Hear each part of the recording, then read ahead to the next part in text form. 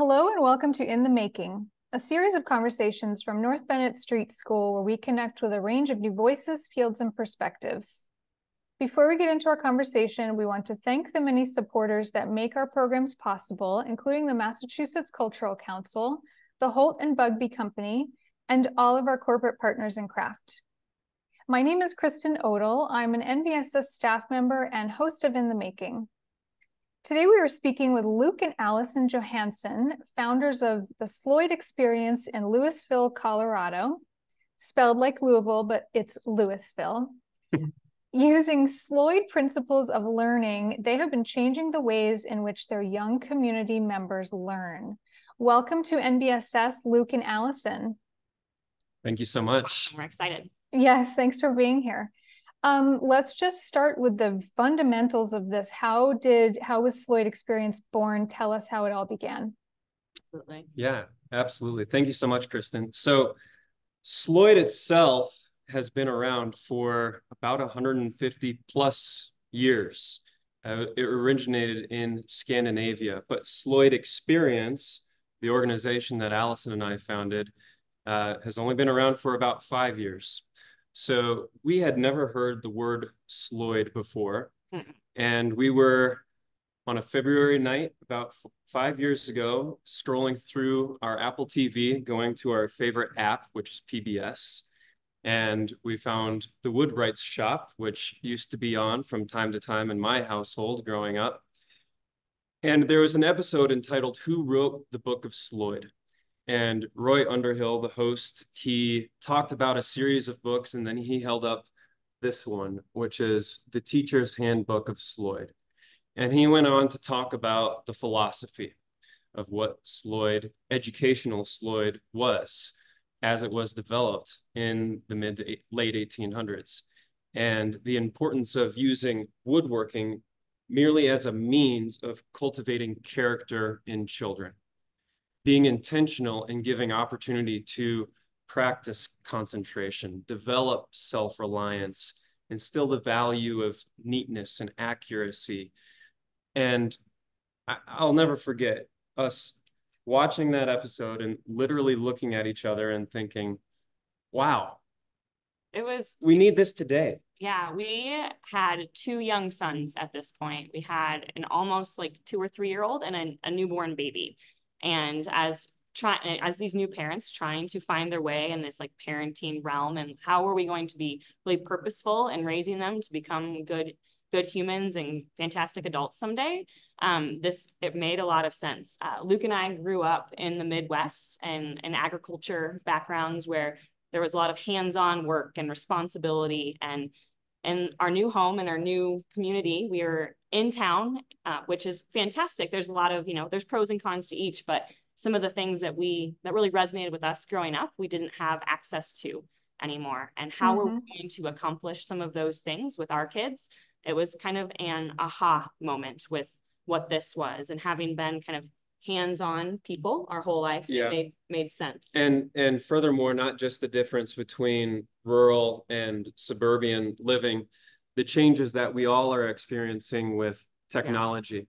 Yeah. Yep. And it's becoming so pervasive in all of our communities and all of our individual lives.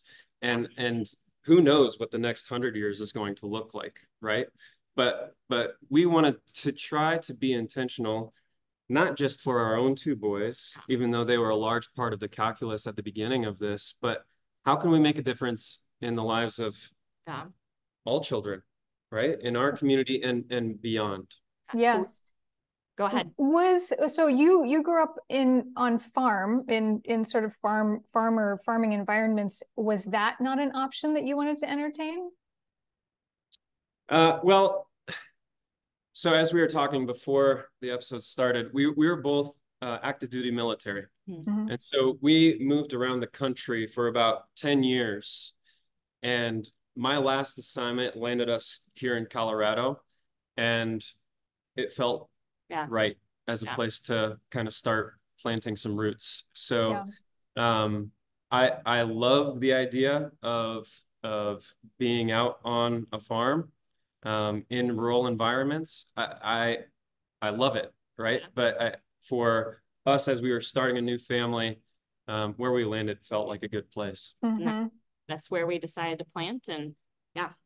Yeah. absolutely. I, I only ask that because you have so you have extensive years of your history spent in the farming community and that and and maybe subconsciously that wasn't the direction you wanted to go in because that's a whole other problematic Sure. area of our culture and society and in woodworking you know, there's so much potential for creation creative act yeah yeah Yeah. Yeah. Uh, So we ended up deciding to make take this idea and put it into action. We had spent a bunch of time brainstorming, and we were able to build up um, a series of small benches. We learned all we could about the the curriculum, and we we knew nothing about traditional woodworking when we started. Like And you can bold and underline and italicize nothing. nothing. what gave you the bravery then was it just you saw this special about this method of learning and you're just like this is what our kids need period Yeah. yeah. The the hands-on, authentic, real experience of doing. Uh. And you can bold, italicize, and underline doing there. I think that's kind of a core belief of both Allison and I, and something that we're trying to infuse in Sloyd experience and something that Otto Salomon believed wholeheartedly as well. And I, I think that our our posterity, our, our children, our future generations, they need more opportunity because they're so capable of doing. We, they just they need opportunity and Mhm. encouragement to do so. um luke since you just held that up and we just have this question right here repeat the name of the book again since you just had it yeah, it's called The Teacher's Handbook of Sloyd It's written by Otto Salomon. by Otto Salomon. And thank you that that's an original copy. There are some other recent publications that that are the original text, um, but you can find those. Online. Yeah. So when um you kind of answered this question, had either of you been introduced to Sloyd in your upbringing, you hadn't even had been introduced to woodworking, even though you have an en engineering background, Luke. Sure. Um, I guess that doesn't translate. It must translate a little bit to bench work. Well, I think that the only translation there may be the fact that uh, with engineering, you develop some degree of spatial intelligence, right? But even as a designer in the engineering world, it's not hands-on, right? You're not the hands-on person that's in there Mhm. doing something. So But that interest has always been there. that interest has has always been a part of me, however, and I've I've usually expressed that in various hobbies along the way. I I, I will never forget when I was a kid, I found an old uh, Western push saw that was probably like a Disston or something, and I tried using it on an old bench, and um, because I thought it was cool. But the teeth, I'm sure, were not sharp, and the saw was not straight, and I experienced a degree of frustration that really kind of prevented me from even thinking that, oh, maybe I Mhm. should keep going along with this, you know? Mhm. And I, I think that's relevant because one of the most important parts for us as instructors, as educators in this classroom is making sure that we're equipping the children with properly tuned tools, Mhm. right? We are trying to improve and increase their frustration tolerance, but they shouldn't experience frustration from a dull plane, a dull Yes. blade, a wobbly workbench, right? They should experience frustration from, I've never done this before, and I'm trying to figure it out, Mhm. right? And then we can encourage that. So let's go back to those beginnings. So you set out to do this for the sake of your your kids and your community. So what were some of the first steps? And let's get into missteps. Like, be honest. Oh, sure. There were a lot of missteps. Um, we so we incorporated as a nonprofit, and we like we have to get students. We have to put this into practice. Um, we set up under a shade tree at our local park, and we hauled benches in and out of Luke's work truck, and we set them up and took them down every day. And we did this for several weeks, um, right before COVID Mhm. had started, like had happened, and you know up upended everything. But we had these kids that weren't ours. We had practiced this with our children at, you know, by the time that we kicked everything off. And then all of a sudden, there were kids at these benches and they were having the time of their life and they were struggling and there was big emotions and there was pride and there was celebration and then that just kind of fueled the fire. More and more parents we weren't having to convince anyone anymore mm-hmm. like hey like just give it a try. Like you can have it for free to start or or that. It, it was one of those this made sense. People were curious. The kids were enjoying themselves. So we started fundraising and we ended up making some career changes. At that point luke had taken a leave of absence from uh, an engineering job that he had and we were like no this deserves more time and energy we can't do this in the way that it needs to be done um, and over the course of that kind of trial program we um, were able to line up with two teachers at our local elementary school who had actually gone to Finland. They had seen real life Sloyd and craft education um, that's still compulsory today in most of the Scandinavian schools. And because of the small community um, that we have and the connection, the connections that there are, we had a, a, neighbor that was like, "What you guys are doing sounds like what these teachers had talked about," and that they mm. after they came back from Finland. And we were able to to connect and meet and essentially the conversations were how do we get this program in our classroom and over the course of two years of working and planning and growing our after school program and continuing along those lines we wound up in a public school in louisville so we've grown from under a tree to a, a program that supports 165 kids during the, the school day. And this year we had, I think it was 396 total kiddos. Um, wow. In our summer and after school programming and our in school programming. And, and ages? Hmm. Uh, we, they're range from ages six to about 14 and 15. Mm-hmm. So in school, we have the second and fifth graders, but our after school program, um, it's a mixed age range. So, like when we have our after school program today, we have six year olds through 13 year olds that'll be here today. And can you tell me the format initially, like step one, when you did get into the school, was it just a few hours every day or, you know, a few hours on Friday? You know, what was the format? For the in-school programming? Yeah. Um, all of the second graders get one hour per week for the duration of the entire academic year. So, and it's all individual instruction which is also one of the kind of principles of, of original Sloyd, that it's not classroom instruction. It's not me standing up and saying, okay, class, today we're going to learn crosscuts. Every student is at his or her own pace. And that's one of the things that makes it so valuable and so interesting and so relevant to every every student, right? It meets mm-hmm his or her needs at that time, right? To where yes. they're not either bored or so frustrated that they just give up. Um, so yeah, it's like essentially it's a special. So like music, art, or PE. So they come in for an hour a week throughout the entire academic year. The fifth grade, their class is a little bit bigger, so they get they alternate. They get Sloyd every other week um, for that same like hour hour window. But our classroom, we do eight to 10 students at a time. It's a, a small group um, mm-hmm. And can you tell, um, I, I don't know if you can put your finger on this with your kids being so young, but when you sort of tested the tested some of these ideas out on your kids when they were younger, did you see um, did you discover some immediate result or some, you know, did something just happen in them that that assured you that okay, we're on the right path here? I don't know that anything in this is immediate. Yeah. I think that it's all intentional, however. And there are, without a doubt, changes that you notice over time in their demeanor, in their character, in their understanding and accept personal acceptance of responsibility, mistakes. responsibility and mistakes mm-hmm. and um, and emotional regulation.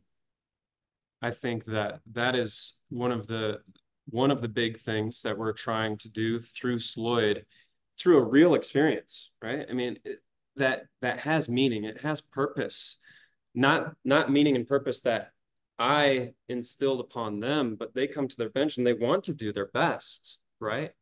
And when things don't go quite right, without a doubt, it evokes emotion. Or if things go great, it evokes emotion. Regardless, that that extreme of emotion in which they're feeling is really what starts to shape their character. Mm-hmm. And then ultimately, like growth mindset, that's become a, a huge piece of education. Um, and something that we were not intimately like familiar with until we like do- dove into Sloyd. Um, as you like learn and like how people learn and how to have that that growth mindset, there's a lot of really great research on there, and it's essentially I'm not good yet. Like having that ability to move forward and know that you can get better. But we through know through hard work and through, determination. Exactly. But practicing it has become the piece that researchers, um, Carol Dweck, um, Huberman, Adam Grant, some of these, um, all these different scientists that they they talk about, and one of the ways of like actually accomplishing and capitalizing on a growth mindset is being able to practice it. Well, you can practice it in a Sloyd classroom where it's a little bit different um, and it develops a whole person and not just an academic test score. Mm-hmm. So where you can have that celebrated growth and that feeling of accomplishment and pride and the things that you've done. Like I used to get really mad every time I mismeasured. Well, I don't get so mad anymore. And oh, I don't even mismeasure as much anymore because I'm taking the time. Like there's there's so many things that can be learned. And when you're just having the opportunity for that repetition, you can have the opportunity for that growth mindset and then that neuroplasticity that that happens mm. to shape kids at such a young age during their formative years. Right. And that's why we're working with kids in that younger age range. We're not Sloyd. You could do Sloyd as an adult. You could do educational Sloyd as an adult or a high schooler, but we can shape so much more within absolutely how someone functions as an adult um, when you start so much earlier. Not only shaping young minds in healthy ways, but creating more artisans and makers in the world, which is what we yeah. need more of. Yeah, without a doubt the however for us though is that we view that as purely incidental mm-hmm. right? Mm-hmm. i i want there to be more makers and more creators in the world just like you right? But our our primary aim is the cultivation of character in children. Absolutely. We say it's it's one thing to say that mistakes are okay or great for learning but it's another to feel it. It's an it's another thing to feel it. And i think it's so important that children get that opportunity to to learn that it's okay and that it's great. If I could, I think this is a good opportunity to kind of pan over to a part of our classroom here that we call the wall of learning. Can you see it over there? Mm-hmm. All those pieces of wood hanging. So we started the wall of learning with me hanging up a bunch of my own woodworking mistakes. And there's no shortage. And it's it's um, become an open invitation to the students when they make a mistake on something they cut it too short they plan it too narrow something isn't quite square something split something chipped whatever you know? You can hang it up on the wall of learning with me. You don't have to but if you want to you may.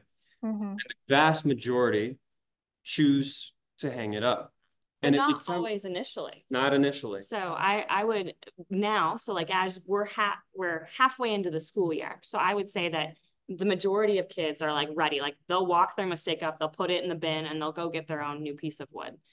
But initially, that that mistake it I mean, there's there's tears. There's like hiding that it happened, like trying to like not let anyone know or see, let us see, you know, just complete denial that it was there. And the last thing they want to do is put it on display. Right. The last thing that you want to share is that like failure, but it's become just such a like like they embrace it. It's mm-hmm. a, like they'll write their name on it. They'll put a smiley face on that piece of wood, and they're they're somewhat proud of it. And they talk to their parents about it, and their parents are like they they understand that these mistakes are actually okay and it has i love that uh, incorporating like saying to, speaking about failure more frequently it's just it's it is equally part of life. Um, I just I love that. That's great. And what a shift in mindset that would be. What yeah. what a what a change in society we would have if everybody truly embraced that to their core. Oh, the grace that it brings, right? The grace and the grit simultaneously. Mm. Right? You know, uh, um, and I, I, I, we really believe that you can only learn that through true authentic experiences in reality mm-hmm. as opposed to yeah there's virtual there's a, a lot of reality. things that technology can do but that that hands-on experience is something that is starting to become fleeting so having yeah. that opportunity well that's why we still exist in this capacity i mean we've it sloyd the sloyd method was introduced at north bennet street industrial school in 1890 mm-hmm. and we still use the same principles in this these programs here and i want to ask you i know we're talking about building um, uh, cultivating character in young people, getting getting this education model into young people's lives. But you two, briefly, as adults, what's something you mentioned? You know, um, being more kind to yourself about mismeasuring or not mismeasuring less. What's something that you two, as adults, have learned about yourselves through starting Sloyd experience? I'll I will start. So you also see some of these signs behind us. Those are our primary aims. Resilience, concentration, self-reliance, love for labor, neatness. As we, as the managers of this organization that we've started, we've realized that we need so desperately to exhibit those character traits in some of the troubles that we're navigating just to kind of continue our operations, right? Perseverance is so, so important because nothing is easy. There's nothing easy about starting and maintaining and trying to spread what we're doing, right? There are, there are forces in this world that don't yep. want that to happen. Which, I mean, that's why it's not there's not like a current Sloyd school still at North Bennet. Like there were forces within the fact that it wasn't economically sustainable anymore mm-hmm. that kind of pushed it away. And our our goal is to to bring it back and so it doesn't leave again because there's mm-hmm. so so much value in what once was here. I mean, it was at North Bennet, and there's so many resources that we've taken from like what was there. Yeah.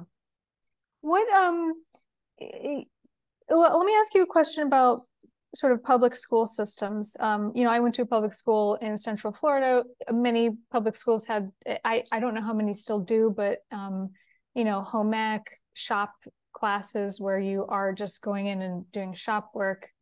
Um, what would you say is the, what does Sloyd method and Sloyd experience provide that one of those sort of elective classes in a public school if you can answer that, what, what do you think it is? I think it starts with why. And to take from the title of Start With Why, the book from Simon Sinek, right? Um, our why is based upon the inherent needs of a child. It's based upon character development. In teaching and practicing concentration, attention, getting them to realize the power that is within themselves um, as opposed to something that is more based upon the needs of the economy. Mm-hmm. for the majority of the time that shop class or home ec or any of the technical education courses have been in school, a lot of the why is based upon the economy. And that's why shop class has been disappearing from so many different schools, right? The other thing too is simply the age, right? A lot of those types of classes might be lit, late middle school and high school. High school, yeah. Right, right. And um, whereas this is without a doubt elementary and intentionally during the formative years of a child's life. When and so yes i get that's that thank you for for, for painting it that way. What and i know that the the aim of sloyd experience and what you two are doing is um it's about character. Do you have a do you have that written somewhere in your mind or in the back of your mind of what what do you do if one of these young people then it's like i'm going to become a furniture maker and how do you navigate you know I support it and encourage it and like Yeah. let them feel all of those feelings and it, it's a hundred percent supported like this brings us joy and your career should bring you joy oh yes. and being able to kind of normalize where there's no stigma behind um, anything where you are just as capable and talented as a doctor or a lawyer or a teacher or an accountant or a garbage man or a woodworker or a plumber. Like where there's no stigma behind that. And i think that being able to be exposed to some of those trades and some of those um, experiences where you are working with your hands at an early age um, that that that then no one is frowning. I'm not going to frown upon it um, there might be uh, you know but where other students and their peers they can all grow up um, respecting the hard work that goes in to the, the manual labor the study of the skill that you have to get good at whether it is an organic chemistry equation or the, the complexities behind you know fine furniture making Mhm. Well, I mean, we do there there is financial viability in so many trades right now. I mean, carpentry blown up. Um, we teach locksmithing here. There's Mhm. stable stability in in that career. Um, machinists are hard to come by right now um, in this region. High paying jobs are in machinists, but I guess I'm just trying to. I'm I'm just wondering how um, and you don't there it doesn't have to be separated there there doesn't need to be a separation but the that sloyd experience and what sloyd was here at north bennet at one point it is just about cultivating character but it can also create viable careers in young opportunity people it creates so much opportunity Yeah. yeah So, uh, like I said before, um, I, I think that that is one of the things that could be very incidental to what we're doing here. Um, and I think that we've made ourselves pretty clear that Sloyd is not a track for the trades. However, if at a young age we're giving kids an opportunity to work with their hands and work with tools, and they find joy and satisfaction in that, once they get to later stages in their life and there's an opportunity that is presented to them and they think back on Sloyd and, and they think, well, I enjoyed that, right? And then they don't go into it with any sort of bias or preconceived notions that they may be getting from the rest of society to say, you you need to go into a knowledge job, a knowledge Mhm. career field. You need to be white collar, pure, right? Then there, I, I think that there's more opportunity to support that. I, I think that they go hand in hand, but they're two separate hands. yes, I hear you. um, I just I'm going to note two things that that are so relevant to what you're doing and um, just reinforce the importance of what you're doing. Um, one is a talk I had recently with a person who wrote the book called Thinking with Things, um, Sarah Kuhn, Yes. and she talked at length about the classroom that we all know of that's basically a deprivation chamber. You know, a Yes. seat, a chair, a teacher, a de- like that's it. You know, nothing nothing to play with and um, so just fascinating you know studies there on how that's affected brain growth in our youth adhd um, adhd turned you know uh, bringing on the influx of medication for adhd um, so again reinforcing what you're doing there and then also a new study you raised your phone earlier a new study that was just put out um, by the Program for International Student Assessment found a link between phone usage and declining academic performance. And there's, and I'll just quote, I'll say this quote because it's so powerful.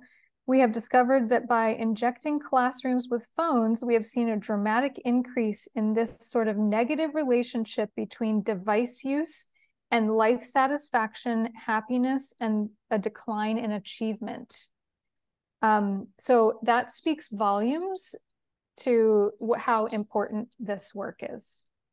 There's a- another study that you found fairly recently from from I think it was a Finnish study where they linked dexterity and fine motor skills to improved cognition. So uh, mm-hmm. There's there's another perspective. There's so much science out there backing oh, sure. this type of education and from a, a, not necessarily scientific point of view, um, one of the thing that's things that has been so neat in all of this. So we woodwork as a family. I mean, as this has been a family endeavor, as we've we've grown and built and refined what we're doing. It's really special when families are coming to us. Well, how do we get started in doing this at home? And we have the number of Christmas gift lists that we help share, like as like in these last two years where students want to do this at home and they're doing it with their dads and they're doing it with their grandfathers and the ability to not lose this craft and not that it's that's 100% disappearing but the idea that we can help it grow and mm-hmm. like have it at such a young age where then they're they're doing it with their families. And oh then they're not on that technology at home in the same way that maybe they might have been. But yeah where we're it's really exciting to see some of these kids going home to do these things yeah. even when they're not in our classroom. Yep. The, the enthusiasm comes to mind right? We want kids to be enthusiastic. We want kids to be enthusiastic about school to be enthusiastic about learning. And it's so sad when there are kids that aren't, right? And I, I go back to that vision that you painted, Kristen, of of this sterile classroom with deprivation just, chamber. Yes, exactly. Right. Who would be enthusiastic about that? Yeah. Right.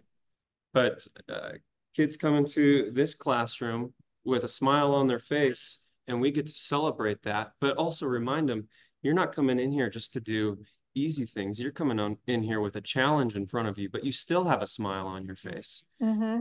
And there, there's inspiration all around them in, in what, what they're looking at. The things that are made from wood, the tools that are around. There's so many questions, inspiring curiosity. The list goes on.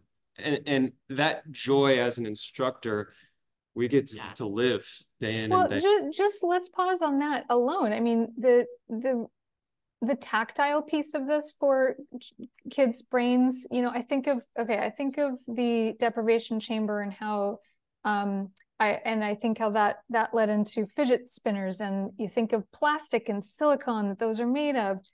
Mm-hmm. and you think of these spaces and it's all wood and natural material and even that just psychologically is is huge for a young person i think.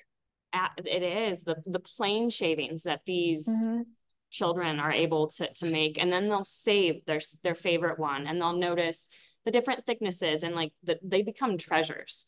And the number of them that say this is satisfying when they push a plane across a piece of wood like just the the act of that doing and then they have this piece of like nature that then they're like touching. And then we talk about how how the tree grew and i mean there's so many different ways that you can connect and make just a very real environment for them. And it's so organic too. Yeah.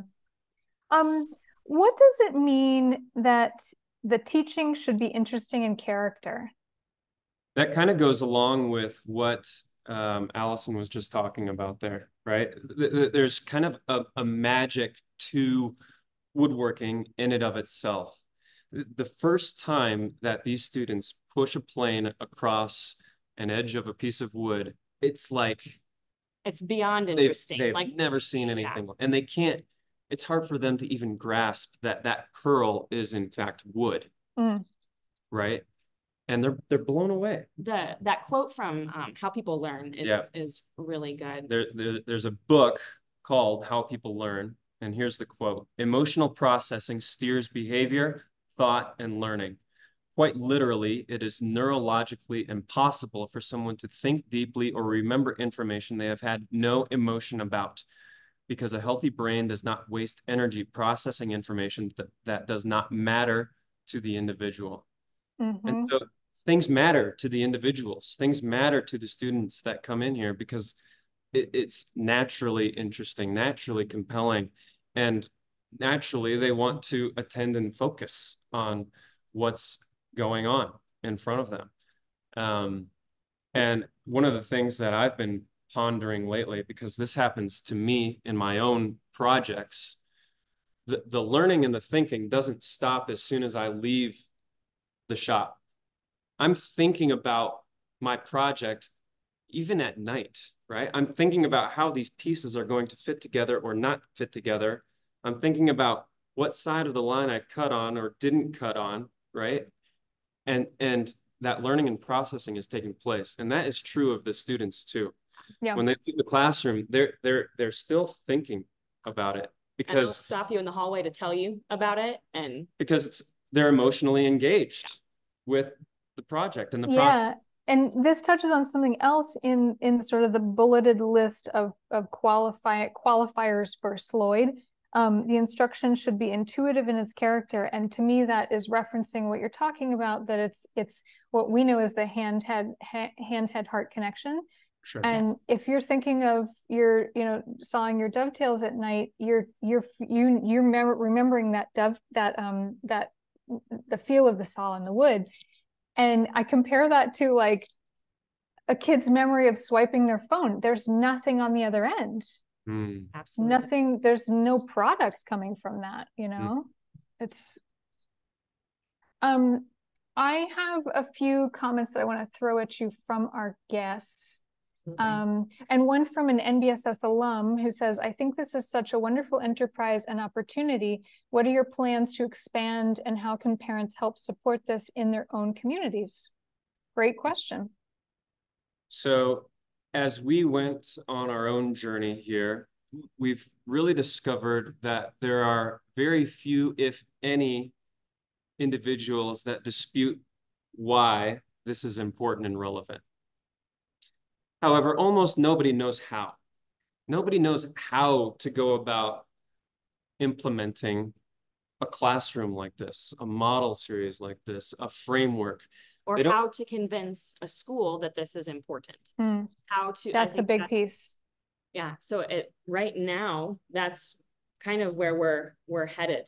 Yeah, and we're working on developing well, we've developed a, a model series and we're working on publishing that along with a very detailed narrative on not just the technical side of what tools should be used and how to use and how to maintain and when to introduce them, but also some of the common uh, emotional responses that children may give as they go along these model series or common mistakes that they will make that you as an educator can look for and give guidance to. And one of the, the key attributes of of Sloyd education is as an educator, knowing how to say just the right amount, just hmm. enough, but not too much, right? I don't want to give all of the answers away because I want to give you as a student the opportunity to develop your own intuition and self-reliance. But I don't want you to get into a place where you're struggling so severely that you're going to um, just be completely repelled by the idea of of wanting to continue with this, right? So that tact, that balance is very individual in nature, hence the need for individual instruction as well. Um, but in that narrative on the models, trying to give more clarity to what that looks like. Because when we were starting all of this, you read through this book and you have a lot of question marks still right? The philosophy is all there. The philosophy is jaw dropping, it's inspiring, it's motivating, but you might ponder, especially if you're anything like Allison or I, who have little to no woodworking experience, and say, how do I go about that? Right. So what, we want to answer those questions. That's the, the next step. So over the last five years, we've refined the curriculum. So we use Gustav Larsson's um, Elementary Sloyd and Whittling to be the basis of our initial curriculum. And as we've put that together, we're continuing to refine and expand that.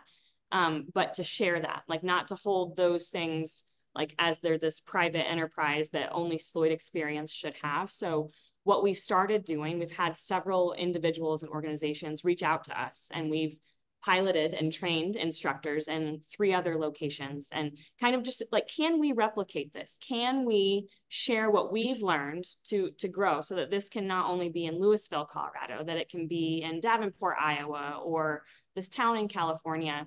So we've we've piloted that and at this point we're, we're starting to be like okay it's possible. So the development of a formal training opportunity where we can bring others in or how do we share those resources um, but still be able to continue to grow what we're doing and like bettering it so that we can stay true to our mission and serve more youth so we're ironing ironing out some of some of those things so does that kind of answer yeah, and I'm going to say uh, someone just joined late and is sort of asking this very question. So to Lee, who just typed the question, um, they're kind of answering that now. That you're there's modifications. You're you're using the basic framework, but and there have to be modifications because you're dealing with a completely different generation of children that have a whole other host of external noise. Mm-hmm. So, so here, here's a quick um, response to that very topic. In original Swedish Slöjd, the first tool that they started with was the knife. And their justification was that every student already has vast experience with the knife at home. Which is That's not true, not, not the case for our kids. 90 percent of the kids that we teach to whittle, which happens to be on our, I think, fourth model now, um, you'll ask them like, so like, do you, you know, you kind of want to know like what their experience is with the tool. I would say 90% of them have never Ever. even cut a cucumber in the kitchen by right. the eight, eight years old. So we, we delay that. It's not the first tool that they're using anymore. However, it's not something that we're not going to introduce. Like right. the focus that you can get out of a, a youth using a knife. I mean, when you talk about like these different learners, and uh, you mentioned the term ADHD before, like the ability that you can the focus and concentration that you can instill um, by working at a bench, by using your hands where it's not a pencil to paper rote memorization, um, you can overcome some of those perceived problems, but then teach that concentration for students where it's harder in a traditional classroom. And the teachers are seeing it carry over like into the academic area. And we're not trying to just make academics better. The idea is that this spills over into everything. This spills right. into friendships and family relationships. It spills over into just me mental health. It spills over into your academic performance. And mm-hmm. they're actually seeing that as the case for this variety of learners, the high academic achievers that where school comes naturally easy and those where school isn't a place that they find to be joyful um, yeah. um, and that the, the math isn't fun. Yeah. Right certainly don't view ourselves as the solution, but we view ourselves as part of the solution to some of these problems that we're talking about mm-hmm. culturally. Mm-hmm. And I think that it would behoove us all if we took a much more proactive response as opposed to reactive to these problems. And I think that Slöjd education is a great example of being proactive. Yes. I'm going to jump into some other questions because we're getting close to the top here. Um, physical labor is the means through which you are teaching character. Are you explicit about that with your students? Or is the focus entirely on the work and kids may or may not recognize the larger lessons? I would say that we are very, very explicit at a minimum with the idea that mistakes are the gateway to learning. We talk about mistakes a lot in the classroom because they happen. And, and uh, when I showed you the wall of learning, a lot of times if a student is struggling emotionally with a mistake that has happened, I will try my best to empathize with them by pulling a physical representation of one of my own mistakes as an adult, as a woodworker, to say, look, some something went wrong.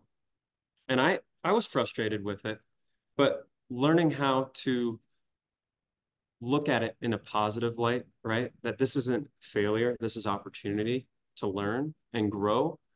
Um, it, it's helpful. Good afternoon, concerns today's after school activity? After school late activity at night. announcement. Oh, that's your bell. It's funny. That's us. Yeah. School is everyone. Have a good afternoon. Ah, school's beginning, everybody. It's ending. It's ending. It's ending. Sorry, it's ending. then- Um, but how would you, so you're, you're speaking specifically to mistakes, but um, I, I believe the question was more about labor. And I guess the two, you can put the two neck and neck there. We, we talk a lot about the value of working hard it's as well. about hard work. Mhm. Yeah. Yeah. And, and it's really interesting too, when the students are using the tool, they're using the plane for the first time.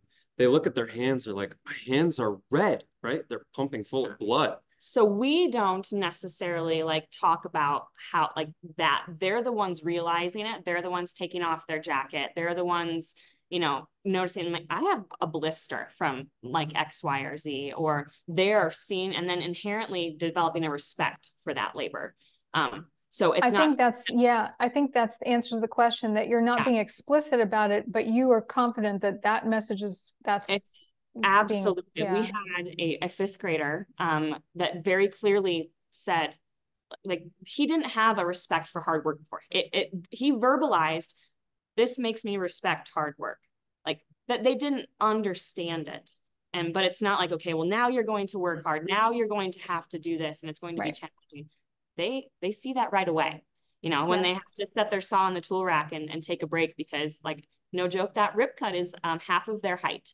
And it takes a lot of energy to accomplish that when you're six years old. So Um, let's talk about progression of projects that you teach. What are you starting with? And are you using the classic Sloyd projects generally? So we are using some of the classic projects from Gustav Larsson's Elementary Sloyd and Whittling.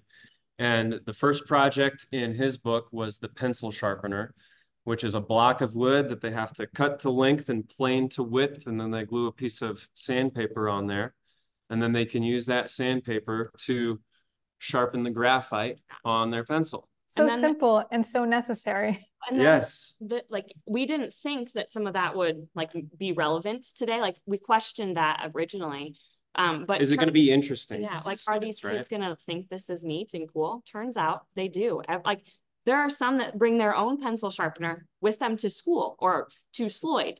Um, but yeah, we we've added to the original model series to kind of inject some different ways to introduce different tools and skills, but we're using the historical methods and the, the historical tools. I mean, the majority of the tools in our classroom are antique. We have um, some new low angle block planes. We're using Japanese pull saws as the introductory saw to then later introduce Western saws and, and those things. But yeah, Mhm. the historical curriculum that we're expanding and refining so that it makes sense. We had to rewrite all of it because the language didn't make sense. Of and course. our kids don't have knives that they're using regularly. They're not measuring the same that they used to. So how to make it applicable and understandable today. hmm And you have something in your hand, Luke. Are you, is that something Oh, else that you're learning yeah, to make? this is- Another model. This is an example of the opposite end of the model series of something that's much more complex that students are capable of making.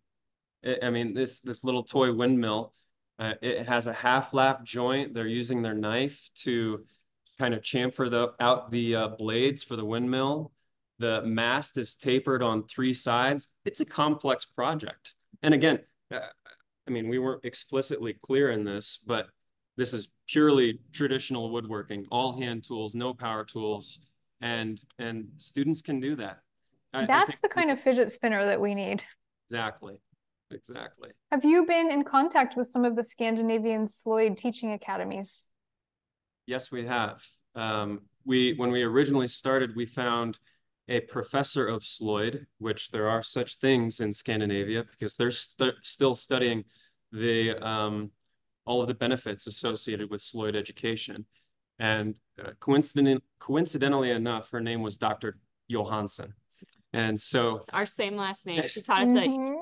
Uh, Gothenburg, Gothenburg. mhm, Um, there's a Finnish um, PhD professor that has found the work that we're doing. So it's been an interesting, interesting conversations because it's so like we're trying to learn from them, but they're so far into it where it's so compulsory. It's so a part of their education and like this the system. It's been that way since the late 1800s. So it's some of the questions that we ask and like our our methods and how we're going about things. It's just hard to communicate because we're so far removed. Like we're starting from scratch when Yeah. they've been doing it for so long. When it's like their culture, Yeah. you know, Mhm, But the feedback has been great. They've been exceptionally helpful and like it to have cheerleaders from across the ocean that are like thank you for doing this and taking it on and like giving like those yeah this is what you should be doing or that that's the right tool or you're on the right track with your curriculum. It's Yeah. been have those dynamic that must be so reinforcing also to ju- just to have to have that feedback but to know that they are doing this they've been doing it for so many years and they're still enthusiastic about it. I mean that that instills a lot of excitement. How are you teaching safety? Um, how do you present safe practice of using a knife Okay, so uh, I'll, I'll just start with safety overall. When we have a new learner that comes into the classroom for the very first time, um, we go over a set of safety protocol and some of the most important, like the first two rules. Number one, if you have your work held in the vise, and number two, you have two hands on the tool. If you can effectively instill that in a new learner and enforce it throughout, you're going to have a pretty safe classroom. everything is individual instruction. So when they are introduced to the saw for the first time or the plane for the first time or the knife, you're demonstrating how it's used, where not to touch. Like this is a face-to-face conversation with each student. Um, where it's it's not like they have to read um, and we may supplement with like here is a written book that you need but but we again start with like six year olds um, so that literacy piece is important and not always there, but that individual instruction, it's a one-on-one lesson. So as I'm teaching a child to whittle for the first time, I'm demonstrating, I'm telling them how to take it out of the sheath, how to put it back in. And then you know where your highest risk is in the classroom and you, you keep your eye on that. Your back is never turned to it, but teaching that respect from like a very early on and knowing that there is risk, teaching the students that there is risk is how we introduce how to be safe. hmm With the knife in particular, these are the knives that we use in the classroom Mm. and see that it does not come to Yep. a deck point at all, but they're just learning the whittling stroke. So along with all of the standard safety protocols, whittling away from your, we only do away from your body. hmm Um, and, and the other thing from a safety perspective is that the instructor has to always know where his or her highest risk in the classroom is and make sure that you're devoting requisite attention to that individual. So whether that's a student themselves or an, ec- a new exercise or a new tool, um, the majority of the cuts that we get in the classroom are from edges of wood themselves, Like not tools. because they've planed it and they've planed it so flat and that edge is sharp. yeah Over five years, Band-Aids are all that we've luckily had to had to use for relative, I mean, minor, minor injuries. hmm hmm But these kids are capable. Yeah, I mean, if you build in respect for a sharp object, that's that's something that you always have. You're teaching that young. And and risk management. I mean, this is a whole nother thing that I could go on to talk about for a long time. I know that we don't have that much time, but if we're able to instill an appreciation for risk and subsequently how to manage it in a young person, when they get to the later stages of their lives, they'll be able to better recognize risk when it presents itself and then how to respond to it and, and have appreciation for it. Have, Mhm. have an appreciation for the reality of what, The consequences of your actions. right. Are you gathering from a bookbinding alum from North Bennet Street? Are you gathering any academic outcome data that you can use to compare student success before and after your program? Um, And if so, should this person would like to be involved? Uh, so it, it's challenging to gather um, in there's a lot of uh, in research studies and how to gather data from youth um, what we've done is we've surveyed um, parents um, we have a survey that was designed by um, a researcher out of the university of northern iowa the regent center for Early education Early and ed- development. education and development. So one of the ways that we're gathering data is through the survey of parents and like what they see in their children. The other thing are, are conversations with teachers. But one of the things that did come back after assessing reading scores across the students that were in our program and across the grades at our school um, and we don't, we're not to the point where we can conclusively say at this point that Sloyd is the reason for any of these outcomes.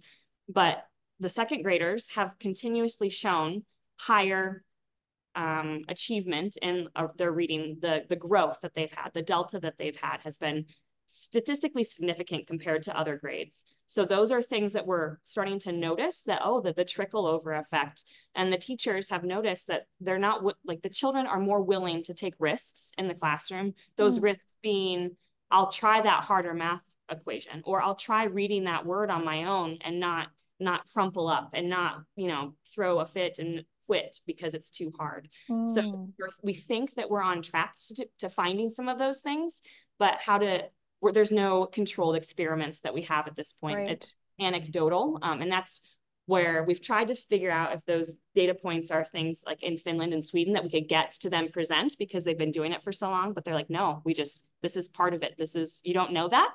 We just do it. yes.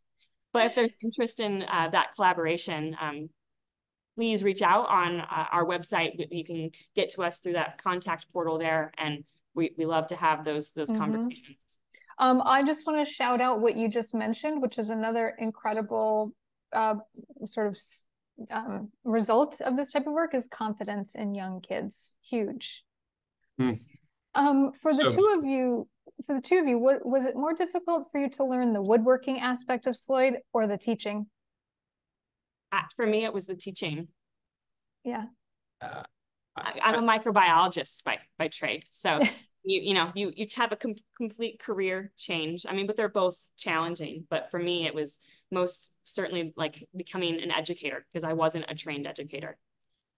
My last um, job with the air force i was teaching rotc at the university of colorado boulder. And so i had gone through some formal education training um, in order to become an instructor. Uh, it's a little bit different to work with college age students than elementary, but not much at the same time. um, so I, I've always really had a passion for working with people and, and teaching in general, albeit I'm not a, a, a trained teacher. And that really is one of the interesting things about Sloyd in general, even from the historical perspective, is that they sought teachers and educators first to teach them woodworking rather than finding craftsmen to teach them how to work with children because the latter mm. is, is more difficult. Knowing how to work with children is paramount. Knowing how to empathize with them, knowing how to talk to them, knowing how to relate to them, um, knowing how to like be fun and silly in the classroom, but still command respect. Um, that's yes. that's the most important part. Um, two other questions that are sort of tied in together. One is, are your Sloyd models available for sale or download? I think there's a lot of people that would like you two to franchise. and not the yet. second, not yet. Okay. Not yet. Correct. Okay. Um, and then another question about, can you talk about fundraising for this important um, nonprofit organization and its mission? Can you say that one more time? Um, tell us about your fund and how are you fundraising? What's that process for you all for this important mission? Absolutely. So all the majority of our funding to this point has been in-kind donations. We haven't been incredibly successful in a grant perspective. We're still working on writing grants. We aren't explicitly STEM. We aren't explicitly the arts, it, like trying to find that niche organization. But we have been really blessed with I mean, when we talked about before, everyone understands the why. Like this is important. So people want to help fund it. So if I tell someone my story, I, we've had opportunities where families have gifted us $20,000. We've had families that gift $5 a month. We have, you know, like, so it's, it's a very in-kind fundraising uh, portion. We have people giving in our community and we have people giving across the globe. So it, it is a, a community grassroots effort that has made us successful for these last five years and built us up to where we're at now. Mm-hmm. So It is um, as a non like we are a nonprofit. So if this mission resonates with you and you feel compelled to help move it along, giving and donating is the best way to help us take those steps in the next direction. So we don't have to say we don't have an instructor training program yet, or we are only in one school. We can say we're in 10 schools, but we have to pay for those instructors and uh, pay for that training and that building and the equipment to house it. But that instructor, that person that will physically teach is the most important part. But we're we're act, we're always fundraising. We're always uh, doing our best to communicate the importance of this so that we can can keep it going. And Well, you have- I may, Yep. here, here's an opportunity for us to say thank you Yeah. to, to all of those supporters. And whether you've supported financially or emotionally for us to encourage us along the way, there's no way that Allison and I could have done and continue to do what we do without the support of the community at large. And I'm not talking about just Louisville, Colorado. Um, it, it goes so far beyond that, including Mhm. North Bennet, Yeah. right? North Bennet Street. This communication here um, is is so rich, so meaningful, so impactful for for us. So thank you. For us as well. And you have so many fans here and in this uh, program this evening. And just keep on doing what you're doing. It's awesome. Awesome. Yeah, it's been great having you. Um, we have some people saying congratulations on your good work. Keep keep up that amazing work. Um, thank you all for being with us this evening. And Luke and Allison, I love talking with you. And Awesome. Absolutely. Same to you. Thanks so much for the conversation. yep, Lovely. Yep. Thank you. And everybody take care. Have a great night and we'll see you soon. All right. All right. Take care.